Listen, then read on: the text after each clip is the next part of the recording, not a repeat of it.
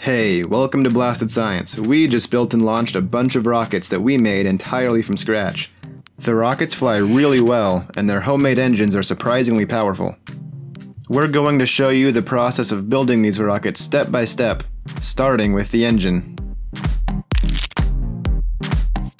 Oh, by the way, you might know of a similar video made by a certain King of Random with the exact same engine design. His tutorial is great, but we had some trouble getting the engines to work properly just from following the video, so we're going to add a few little tips to our video that should make it a little easier for you. Alright, here are all the materials you'll need. Stump remover, powdered sugar, kitty litter, a 5 inch piece of 3 quarter inch PVC, a drill, a scale, a blender that you don't mind damaging, some fuse, and a wooden dowel. In our case, we're using the head of a giant nail, and that works just as well.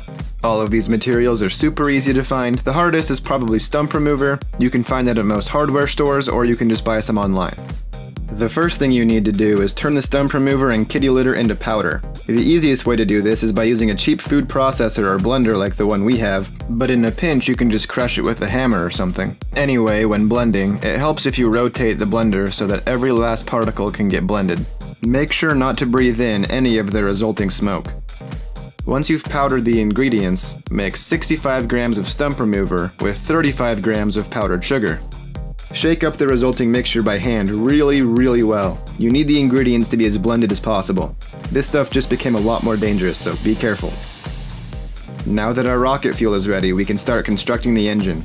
Pour a spoonful of powdered kitty litter into the PVC pipe and insert the wooden dowel. Give it around a dozen hard whacks with a hammer to compact the kitty litter as much as possible. It's really important that the clay is packed down hard or else the engine probably won't work. Make this layer between 3 quarter inch and 1 inch thick. I try to add a little extra because some usually falls out during the next few steps. Now we add the rocket fuel. Add a few spoonfuls of the powder and then use the dowel to compress it extremely slowly. Once it's packed down, give it a few whacks with the hammer to finish it off. Keep adding fuel until there's about an inch of room left in the tube. Now we add another kitty litter cap. Do the exact same thing we did the first time. Add kitty litter and then whack it with a hammer. The only thing left to do now is drilling the nozzle. The kitty litter can fall apart if you use an electric drill at the beginning, so it's best to do it by hand. Very carefully use a drill bit to carve a hole through the kitty litter. The drill bit should be around 732 inch, but we also use a 316 and a 1 quarter, and both of those worked too.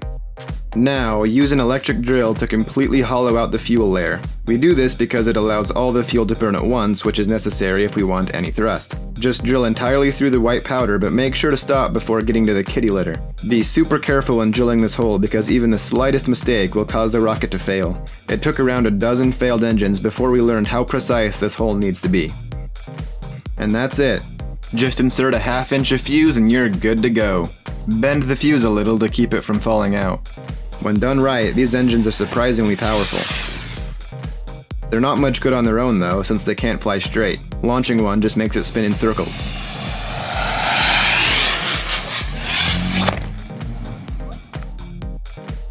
But don't worry, in our next video, we're going to show you how to build a rocket body, and then these suckers fly.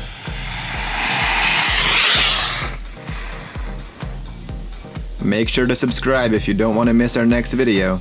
And hey, if you're feeling generous, give us a like. See you next time. I bet you, remember Joss? Right. Josh. I forgot your name. I was talking to Jocelyn today, that's what I'm saying.